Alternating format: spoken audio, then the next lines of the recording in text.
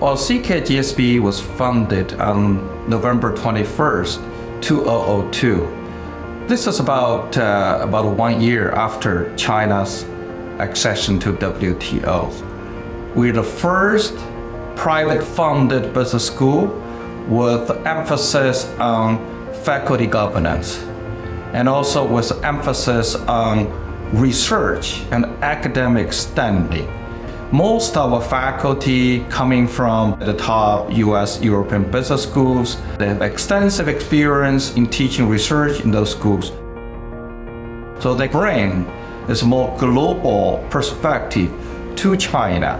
Our mission is to leverage the resource of the, our global faculty to produce, to encourage, and to uh, incubate the best global Chinese company. We expect our students to be global leaders who are open-minded, long-term oriented, socially responsible, and uh, innovation-oriented. Every enterprise, every company, and every individual is only part of the bigger society. We are part of it, and we have to make contributions to it.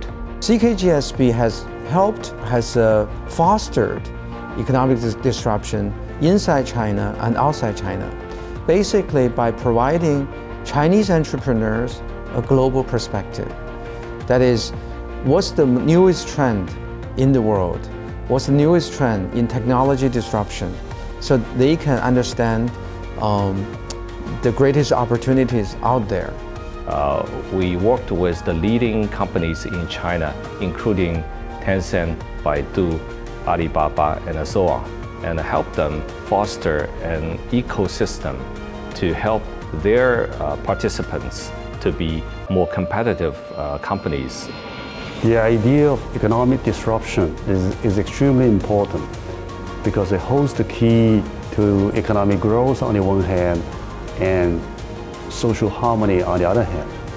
We uh, launched a course called Social Innovation and Business for Good we made one big step forward, which we moved away from just an in-classroom theoretical course to a one-year-long mandatory practice-based course. Our emphasis is we tell students social innovation benefits the entire society, but also benefits their own businesses. And that's very important. We recruit students who are uh, not just based in China, but based in Asia, where there's this uh, large free trade zone RCEP, and also be based in Middle East, where uh, there are lots of existing relationship between China and, uh, and business there, uh, and also with Europe and uh, North America. We will be the bridge between East and West, uh, and we continue to develop like management theory from a global perspective. so it's a very unique position and it's a very unique contribution we can make to the business community and to the academic community.